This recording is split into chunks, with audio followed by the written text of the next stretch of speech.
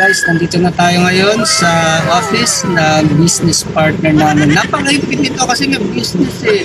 Let's talk about money. Let's talk about business. Pag business, ibig sabihin talagang dapat mahigpit para walang lugi. Walang lugi negosyo.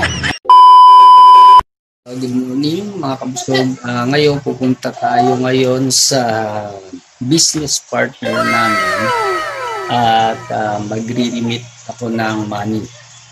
Uh, yun ang gagawin ko ngayon para hindi masira yung contract namin. Okay? Samahan niyo ako, pumunta tayo dun sa business partner, sa office ng business partner namin. Okay, let's go! Lamborghini punta dun sa uh, office ng business partner natin. Kasi, syempre, business nga, hindi pwedeng uh, hindi ka makapag-remit ng pera. Dahil pag sinabi mong business, hindi tatakbo kasi ang business pag walang money.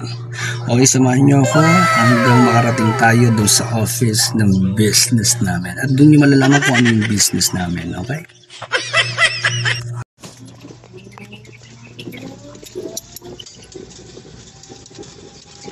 Pupunta tayo ngayon sa bayan. Papuntang uh, Litang. Guys, nandito na tayo ngayon sa office ng business partner namin. Napakahigpit nito kasi nga business eh. Let's talk about money. Let's talk about business. Pag business, ibig sabihin talagang dapat mahigpit para walang lugi. Walang lugi negosyo. Ha? Ito, papakita ko sa iyo sa inyo kung ano yung business na kung saan ako magre-remit ng money para hindi ma putol yung contract or mag-end yung contract. Okay? Samahan niyo ako nandito ako ngayon sa Forest Hill.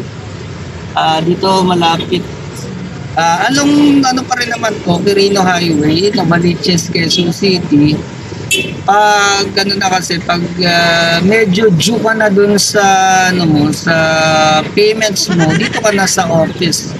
Magre-remit ng money. Okay samahan niyo ako ipapakita ko sa inyo i-reveal ko na kung ano yung business namin. Actually uh, para kami shareholders dito sa business na to. Baka malay mo pati kayo shareholders din pala hindi nyo lang alam. Okay papakita ko sa inyo kung ano tong business na talaga namang uh, kakaiba.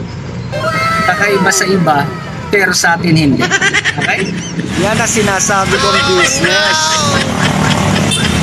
Ang business namin.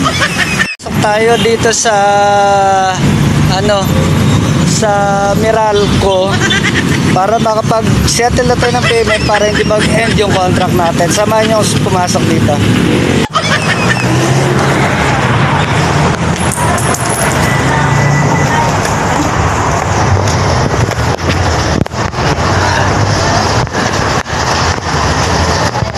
Apo.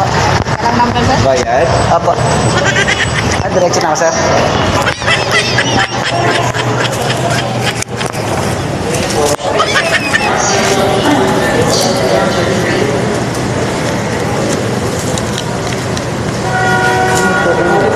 Okay, what's up, what's up? Before we continue this uh, video, shout out muna natin sina Shout out pala kila CB Azores Conde, siya Love Trisha May Hernandez, ating MVP na si uh, Mr. Roy Espiritu.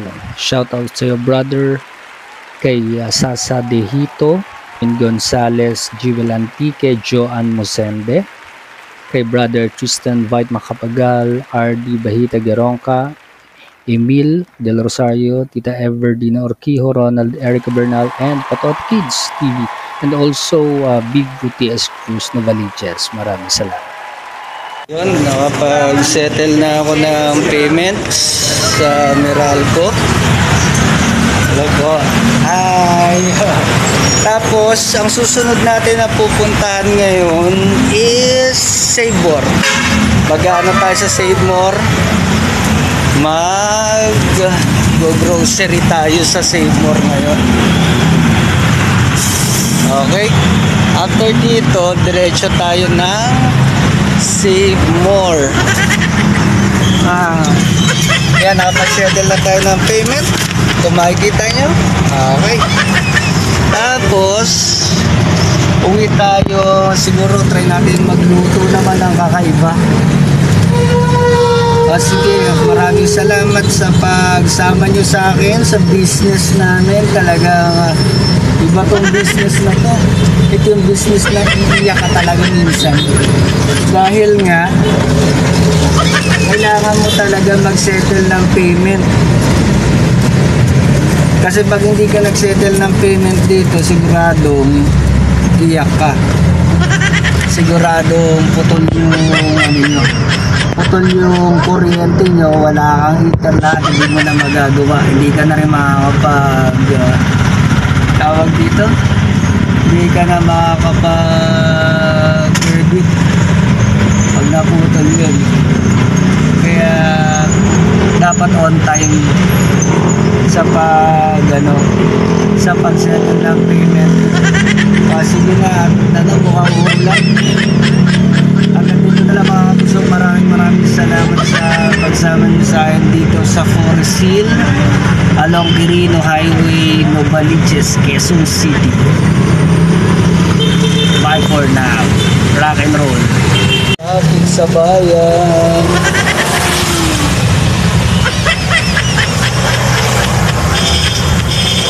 Traffic sa bayan. Lalo-lalo na pag mga ganitong oras, kahit sabi mong patay yung oras, ano, ah, traffic pa rin siya. Kaya talaga namang kakaiba. O, ito na, go na, mamaya na ulit. Isa. Pauwi na tayo ngayon. Dito na ako sa aming uh, Bungacious subdivision. Pero hindi ko sasabihin siyempre, baka malaman nyo. Gusto na ako natira. Saka, masaya tong nangyari sa akin kasi itsemento, pagpasok ko dito sa subdivision namin, puro mineral ko. Ang nandito ngayon. Kaya sabi ko, mukhang, ano, mukhang talagang kailangan na mag-settle ng payment. Kasi nga, puro mineral ko yung nandun, yung truck na mineral ko, mukhang magtatayo sila ng, ano, ng poste. Eh ko, habang nagtatayo ng poste yung iba, bigla nagpuputol naman yung iba. Parang ano sila ngayon ha, talaga push na push silang uh, magtrabaho ngayong buwan na to. Kaya nga siguro malapit na ulit yung tagulan, kaya talaga nagpupush sila.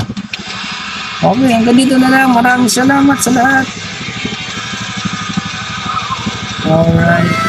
Maraming salamat sa mga sumama sa akin dun sa business namin napakalupit. Parang walang lugi. Di ba? Kung gusto nyo sumali sa business namin na walang lugi, yun lang. Mag-invest lang kayo. Trabaho-trabaho lang. Chill-chill pero habang nag-grind. Hindi yung chill na, higa pa. Walang ganun. Hindi ka kikita doon sa ganun. Ang gagawin mo na lang, trabaho, grind, grind, grind, grind, grind, while chilling. Okay? Hanggang dito na lang mga kabusog. Maraming salamat at magandang umaga. Happy payment. Miral.